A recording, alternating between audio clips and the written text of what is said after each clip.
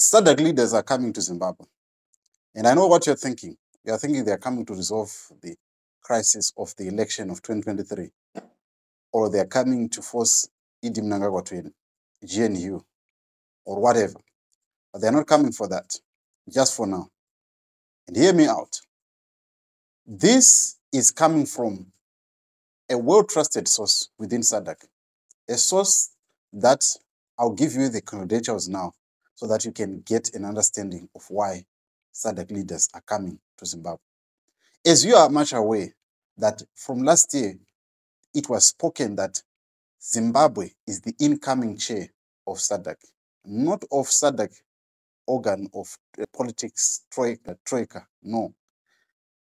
Zimbabwe is becoming the same chairperson of SADC, just like Angola is now. The handover is going to happen sometime this year. That date is going to be announced by SADC.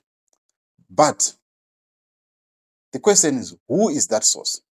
That source is none other than Sophie Mokoena. Many of you, you know Sophie Mokoena. She used to report for SABC. She used to be a correspondent for SABC here in Zimbabwe. During the 2018 elections, she was here, Sophie Mokoena, Peter Ndoro, and Griselda Lewis. These are three seasoned journalists that I can tell you, if you hear from them, you know that what they are telling, they are not telling from other corridors. They know straight from the source. Why should we trust Sophie Mokoena? Sophie Mokoena has worked with so many government officials that are across Africa or even here in Africa. You recall just after the 2017 Operation Restore Legacy, people were looking to find out where Jonathan Moyo was. And for your own information, the only person that has interviewed Professor Jonathan Moyo so far since the 2017 Operation Restore Legacy, it is Sophie Mokoena. He is the only journalist in Africa who has interviewed Jonathan Moyo live, physically. All other journalists, they have not seen Jonathan Moyo or where he is. And even CIOs, I don't know if they know that where is Jonathan Moyo.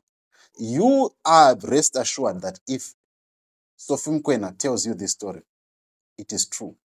SADC leaders are coming to Zimbabwe, but they are not coming to resolve the election crisis. They're coming for other things. Whether that issue is going to be tabled on the table, that's another issue. But the issue now is that even if it's going to be tabled, who is the chairperson? It's Zimbabwe. So Zimbabwe can't ask itself questions. They'll simply maybe put it on the agenda and they'll deliberate it, and that's it. We're back to square one.